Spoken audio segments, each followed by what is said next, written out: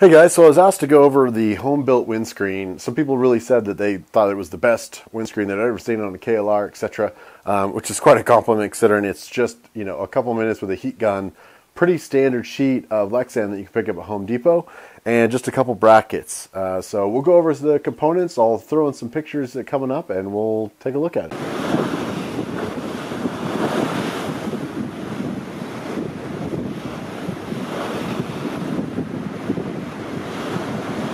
So before some of those big road trips I did this summer, I decided to try to make a homemade one. And uh, we'll get this pulled off so you can kind of take a look at it. But I literally just bought a sheet of uh, Lexan um, at like Home Depot, one of your stores. I believe it's uh, 12 inches across and it was by two feet. Um, obviously, I've cut some off the top. And then uh, just sort of as last minute, I came up with the uh, the idea to use these brackets. And I'll, I'll pull these off so you can kind of see what they are. But they're for doing joist work, um, you know, two by fours and things, and it it's a 90 degree turn. So this edge is, is flat, while this side does a turn and then becomes well 90 90 degrees parallel to it.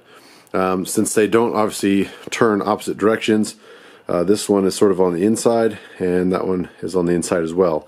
Obviously, to get that flat up here and that turn. So I did have to bend that one a little bit, and then all I've done is um, fixed it to the screw on the side here of the fairing. And then literally the three screws around the front. Um, I melted it with a heat gun and, uh, you know, it wobbles a little bit, but um, it uh, I put a V with the heat gun in it here. That helps keep it a little stiffer from uh, being a little less floppy. It's a little too tall for off-roading, and several times I jab myself in the chin uh, with this, so I had plans to cut it a little bit shorter anyway, uh, which would reduce the amount of uh, flexing because this is quite sturdy down here. It's just the end piece that doesn't have any uh, any structure to it that flaps a little bit. So you could definitely you know cut a shape up here, add maybe a little bit more of a V to the middle uh, for a little bit more structure. But uh, I'll get this thing pulled off and then uh, we'll take a look at it. All right, guys, just a quick comparison with the uh, the Parabellum here. This is the, the home built job. Um, obviously, I had this mounted about there inside, so you can see this one was a good four or five inches taller uh, than the Parabellum. Again, I was looking to cut this one down. Um, it's a little wobbly, but I did put just a heat gun kind of curve into it and um, just add a little rigidity. And then of course these guys here got just some metal screws. I uh, took a grinder, popped those off so I didn't have sharp edges back here.